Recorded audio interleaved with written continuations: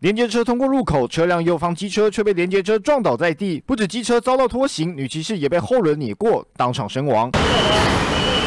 实际回到现场，女骑士及孙女因为遭到连接车碾过，留下大片血迹，吓坏附近店家。小孩子的脚跟。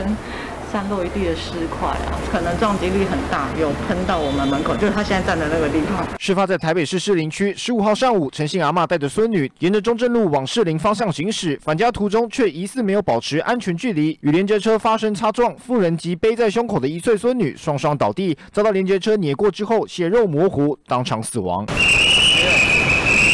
警方到场后，马上着手处理遗体、清理血迹。夫人家属随后也赶往派出所，离开时难掩哀伤神情。怎么也没想到，退休的阿妈带着孙女返家途中，竟然传出噩耗。可以帮我们讲下那时候发生什么事情吗？外套遮头，肇事司机完全不发一语。肇事原因目前还在厘清当中，现在就等检察官相验之后，还给心碎家属一个交代。记者谢永如、尤涛台北采访报道。